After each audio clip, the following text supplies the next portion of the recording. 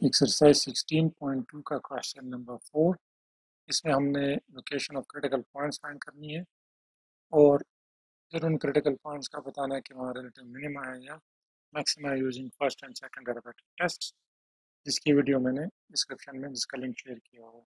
सबसे पहले हम क्या करेंगे? जो फ़ंक्शन गिवन है उसका डेरिवेटिव ले लेते हैं। एक्स स्क्वायर का derivative two x minus eight x का डेरिवेटिव एट और प्लस फोर का डेरिवेटिव ज़ीरो नेक्स्ट हमने क्रिटिकल पॉइंट्स निकालना है तो उसके लिए हम इस फ़र्स्ट डेरिवेटिव को इक्व टू ज़ीरो रख देते हैं और जो इक्वेशन बनती है उसको सॉल्व कर देते हैं। तो two x minus eight equal to zero that means two x is equal to eight दोनों साइड पर टू से डिवाइड करेंगे तो x is equal to four location के लिए हम इसी क्रिटिकल पॉइंट को फ़ंक्शन में इस वैल्यू को, एक्स वैल्यू को फ़ंक्शन में पुट कर देते हैं और उसको सिंप्लीफाई कर देते हैं। हमारे पास वाई की वैल्यू आ जाएगी। That is sixteen minus thirty two plus four thirty two minus thirty two plus twenty gives us minus twelve तो क्रिटिकल पॉइंट हमारे पास या उसकी लोकेशन हमारे पास क्या आ गई? वो है।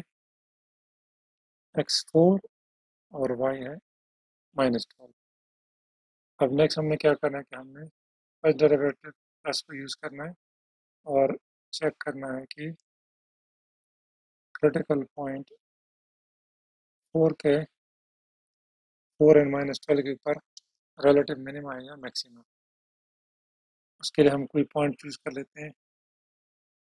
फोर के लेफ़्ट पे तो आसान वाला पॉइंट क्या है? ज़ीरो। और फोर के राइट पे हम कोई भी पॉइंट ले लेते हैं। फाइव।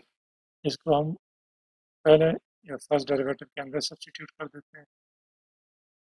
जब ज़ीरो सब्सटीट्यूट किया, first derivative was two x minus eight जहाँ जहाँ एक्स है, वहाँ पर हम ज़ीरो कर देते हैं। Answer is minus eight which is less than zero इसका मतलब है फोर के लेफ़्ट पे जो है वो ग्राफ नीचे की तरफ़ आ रहा है फ़ंक्शन का। अब यही इसी फ़ंक्शन के अंदर हम डेरिवेटिव के अंदर एक्स को फाइव पुट कर देते हैं। हमारे पास वैल्यू आती है ten minus eight is equal to two which is greater than zero इसका मतलब है कि फोर के राइट पे फ़ंक्शन ऊपर की तरफ़ जा रहा है। देखिए मिनिमम पॉइंट कौन सा है? यहाँ पे that means first derivative test से by first derivative test हम कहते हैं कि अगर एक्सटेरिक जो कि और है, उसके लेफ़्ट पे एफ़ प्राइम जो है वो लेस देन ज़ीरो हो एंड उसके राइट पे एफ़ प्राइम जो है वो ग्रेटर देन ज़ीरो हो तो जो क्रिटिकल पॉइंट है, वो क्या है? इस रिलेटिव मिनिमम जो कि आपको ऐसे भी यहाँ पर नज़र आ रहा है? ठीक है, अब चलते हैं सेकंड डेरिवेटिव टेस्ट की तरफ़। तो सेकंड डेरिवेटिव फ़र्स्ट डेरिवेटिव था टू एक्स माइनस एट का सेकेंड डेरिवेटिव लेंगे तो बन जाएगा टू ठीक है? तो हमने देखना है कि फोर के लेफ़्ट और फोर के राइट पे डबल डेरिवेटिव का साइन अगर चेंज होता है तो फिर हम कहेंगे कि रिलेटिव मैक्सिमा होगा सॉरी कि कनकेव अप होगा या कनकेव डाउन होगा फोर के ऊपर। क्योंकि एक कांस्टेंट टू है। चाहे हम यहाँ पे एफ़ डबल प्राइम के अंदर कुछ भी पुट कर दें। ठीक है? आंसर उसका क्या आना है? टू ही आना है। ठीक है? चेंज नहीं हो रहा।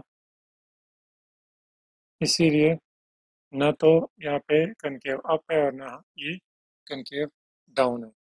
ठीक है? और पॉइंट ऑफ़ इन्फ्लेक्शन के लिए हम क्या करते हैं कि डबल डेरिवेटिव के अंदर हम क्रिटिकल पॉइंट को पुट कर देते हैं, अगर ये ज़ीरो आ गया तो ये पॉइंट ऑफ़ इन्फ्लेक्शन होगा, जो कि नहीं है। उसको हमने कहाँ से हमें पता लगेगा? पॉइंट ऑफ़ इन्फ्लेक्शन में हमने कहा था कि एफ़ प्राइम के लेफ़्ट और राइट पे साइन सेम होने चाहिए। दोनों या पॉजिटिव होने चाहिए या दोनों नेगेटिव यहाँ पे साइन क्या है? फ़र्स्ट डेरिवेटिव हमने चेक किया कि वो दोनों डिफरेंट है। तो ये पॉइंट ऑफ़ इन्फ्लेक्शन नहीं है, लेकिन फिर भी हम डबल डेरिवेटिव से चेक कर लेते हैं। डबल डेरिवेटिव फोर में पुट किया तो two times four minus this is equal to eight minus eight तो डबल डेरिवेटिव इज़ ज़ीरो लेकिन एफ़ प्राइम के लेफ़्ट और राइट पे साइन क्या है?